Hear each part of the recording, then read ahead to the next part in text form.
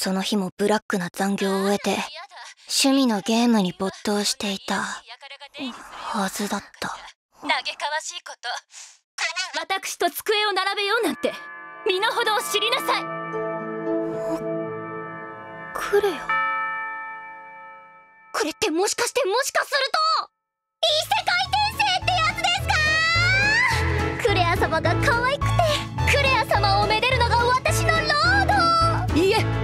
です。もうやだ。この子。どうしてそう。いちいち発想が低俗なんですの？おおお前ら朝から元気だな。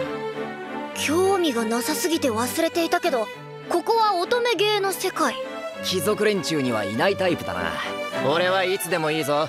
人に聞かせるような代物ではない。二度目はないぞ。レイはそういう反応をするんだね。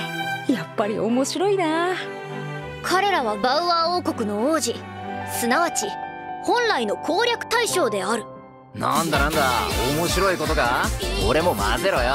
レイがあんまりクレアをいじめるからさ。何考えてるのよレイ。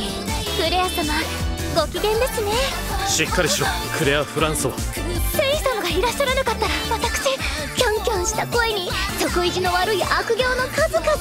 どこをとっても私のツボにドストライク